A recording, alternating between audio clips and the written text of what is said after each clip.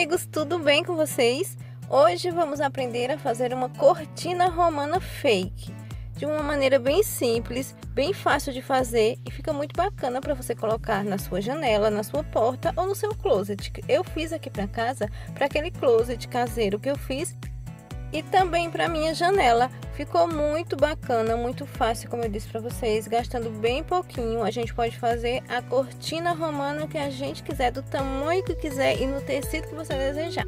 Se já curtiu a ideia, clica aqui em gostei e compartilha com os amigos. E agora, vem comigo!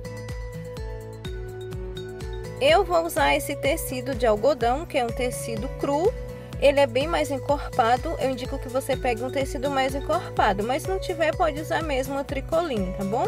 E várias tirinhas para que você faça assim como eu fiz. Eu cortei algumas tiras do mesmo tecido, dobrei assim e olha só, passei o ferro para que elas ficassem bem marcadinhas. Com essas tiras, nós vamos fazer a parte de cima da cortina para a gente colocar o varão. Olha só, gente. Essa parte de cima eu dobrei duas vezes aí, para que ela fique bem mais larguinha, é a parte de cima. E aí nós vamos colar assim, nós vamos colocar todas essas tirinhas assim, pra que fique dessa maneira e aí a gente possa colocar o nosso varão, tá bom? Mas vamos começar primeiro com a cortina. Peguei o meu tecido cru, e fiz uma barra bem larga na parte de cima e em volta de todo o tecido eu fiz uma barrinha aí de uns 2 ou 3 centímetros, tá bom gente? Abanhando assim todo o meu tecido, passando o ferro sempre. Depois que eu marquei tudo, aí sim eu vou usar uma cola. Eu indico que seja uma cola pano ou uma cola de silicone, pode ser cola de silicone mesmo, só não pode ser cola de EVA, tá bom? Essa cola aqui, ela é para tudo, para EVA também, mas ela é de silicone. Então vai colar bem e você pode lavar à vontade na máquina que não irá sair ou na mão também. A cola pano da Glitter eu também super indico. Depois que você passar a cola, é só você passar o ferro quente por cima e pronto, já vai estar tá bem coladinho o seu tecido, o que você fizer. Não precisa de costura, não precisa de máquina. Mas claro, se você tiver uma máquina e quiser costurar, melhor para você.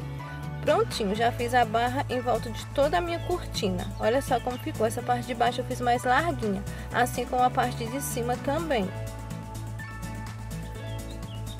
Essa parte de cima eu fiz para fora, olha só, toda dobradinha para dentro, as barras todas dobradinha para dentro, só essa parte de cima que eu dobrei para o lado de fora, para que fique mais bonita a minha cortina.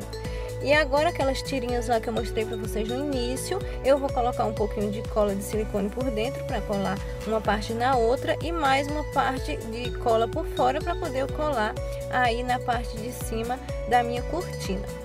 Aí você vai colando tudo, gente, assim do jeito que eu tô fazendo. Se você tiver um entretela para cortina, aí nessa barra de cima que eu fiz, essa parte mais larga, você coloca ela no meio para que ela fique bem durinha e assim dá mais firmeza para tua cortina, tá bom? Como eu não encontrei aqui na cidade onde eu estou morando, eu fiz sem ela mesma.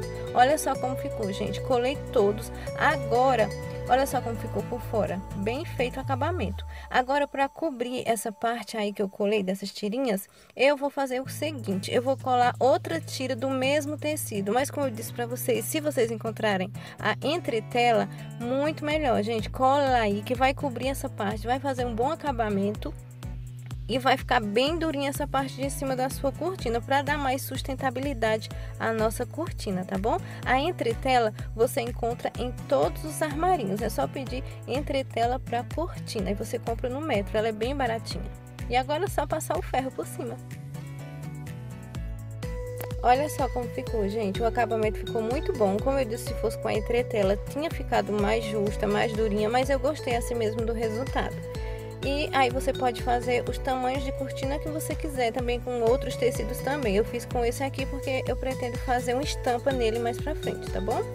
Agora, com uma fita metra, métrica, você vai medir 20 centímetros, assim, olha, de cima até completar os 20 centímetros, você marca com a canetinha e aí você vai marcando de 20 em 20 centímetros até faltar mais 20 centímetros para chegar no final da sua cortina. Isso na lateral, olha só do jeito que eu estou fazendo aí.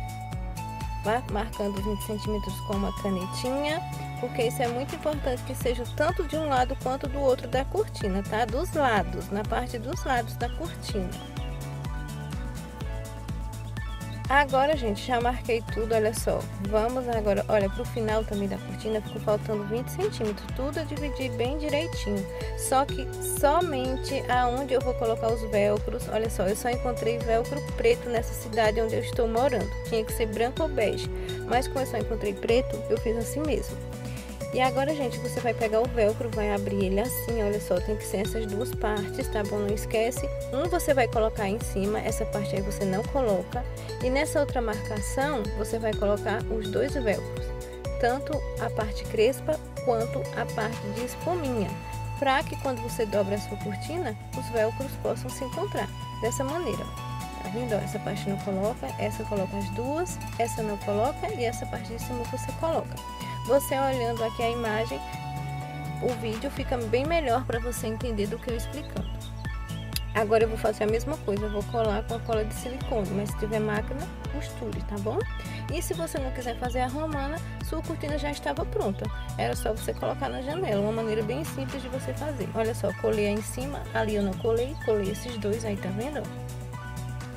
Aí esse outro risco eu também não colei, colei ali na parte de baixo, olha só, e deixei os 20 centímetros pro final. Do mesmo jeito eu vou fazer do outro lado da cortina, tá bom? E olha só, a cortina já tá prontinha. Vamos colocar na janela, que aí fica mais fácil de vocês entenderem. Eu vou colocar tanto no closet quanto na janela para vocês verem como ela fica. É bem fácil, gente. Prestem atenção no vídeo, voltem ele várias vezes e aí vocês vão ver como é se você não conseguir entender logo de cara. Mas é claro que vocês vão entender, né, gente? Vamos lá colocar na minha janela? Já coloquei no, no varão e olha só, gente.